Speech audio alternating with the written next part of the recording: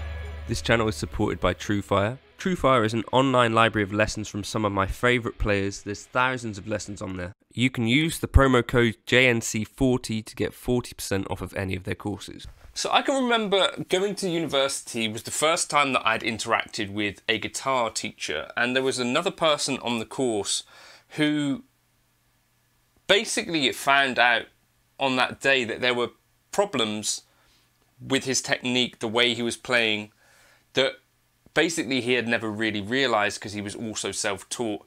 And it was quite demoralizing for the chap. And I think it, it kind of put him off in some regards especially like I think at the age of like 18 19 you've already been, been maybe playing seven for, for me personally like 10 years and you feel like you've you know got a lot of things under your belt whether that's true or not is, is another point altogether. Um, but to be told that you're doing things fundamentally wrong, I think is kind of a bit of a like, ah, oh no, type situation. How would you know this sort of thing if you didn't have a teacher? I think a lot of us are self-taught these days, myself personally. So I started playing guitar at eight. I had piano lessons from about the age of five. I stopped those at 14, but took myself essentially uh, when I was 16, I did grade eight guitar. And then at university was the first time that I had a couple of lessons with Stuart Ryan, who used to teach on the course um, in Bath. Now, there's a lot of that sort of time developing guitar, which completely unsupervised and without anyone pointing out stuff, I think there's definitely uh, a, a, huge opportunity there for, for people to go, uh, right, and just form bad habits essentially. And, you know, people ask me, do I give lessons and stuff? That's part of the reason for me why I don't like to give kind of one on one lessons too much because I feel like um, I don't necessarily have much wisdom for you guys anyway, given that I just sort of spent time in my bedroom sort of bumbling along until whatever happened. Um, but also, I think there's some element for me where guitar is just about kind of a journey for me, which has been basically myself in a room. So that's kind of it. But I can share some insights if I have them. So my room has basically always been pretty much the same setup. I've been thinking about this now and thinking about how this happened. And this room here is actually the first time that it's not quite like that. So in my house as a kid, um, I started off in this kind of back room of the house, which I think was added on later. And I moved out of that room because it had some damp issues and I was kind of an ill kid growing up. And I moved into this other room. And somehow, so the computer desk would be like it was in this room over here, I think at one point at least. And there would be a mirror just by the door, like a full length mirror, and I could sit or stand and watch myself in the mirror play. Um, this would have been before I was filming stuff, before any of that. But I think for a lot of the time that I would have been, you know, practicing technique stuff and shred stuff, when I started to get serious about guitar, there would have been a mirror just there. Um, in that room where I also moved in uh, like 2007, there's a full length mirror along the wall there so I could kind of sit and see what was going on technique wise. Obviously, these are mirrors here.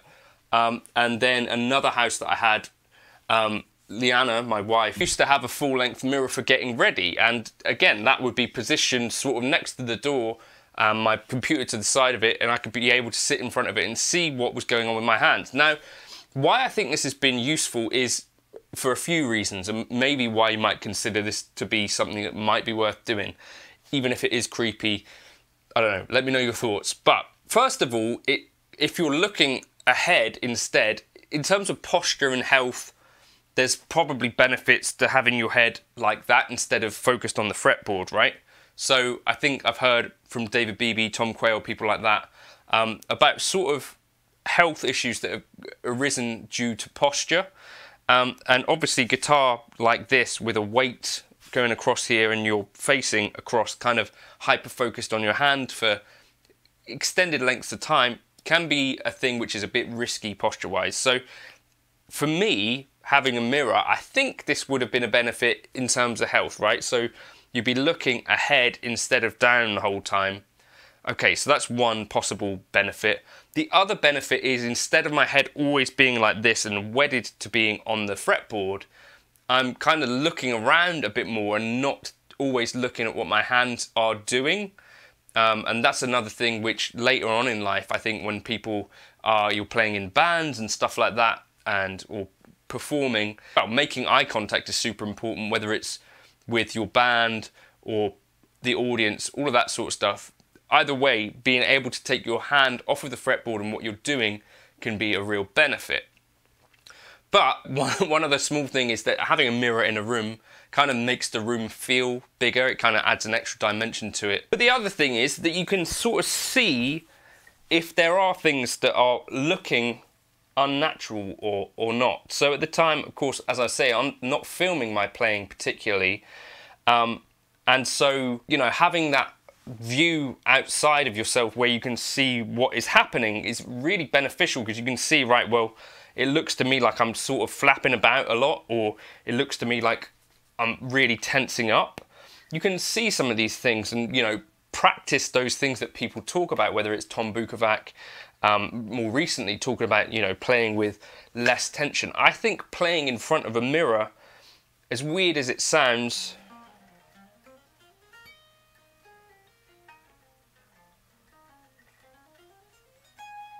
can help to illuminate where there might be some things that you're doing that maybe does or does not look right. And normally, if something looks smooth or effortless or these kind of words, is when the technique is kind of right and flowing, right? And it is more difficult to get, you know, you see some people with a thumb sort of totally under the neck and that sort of stuff. The sort of techniques where you think, well, how did that development, how did that develop, or you know, weird picking angles. If you can look at yourself and see, ah, okay, well, this is a particularly unnatural looking position, and instead of hyper focusing on, you know, the fretboard right here, be thinking, okay, well, what does it look like from the outside? I think a mirror is a really good way to do that.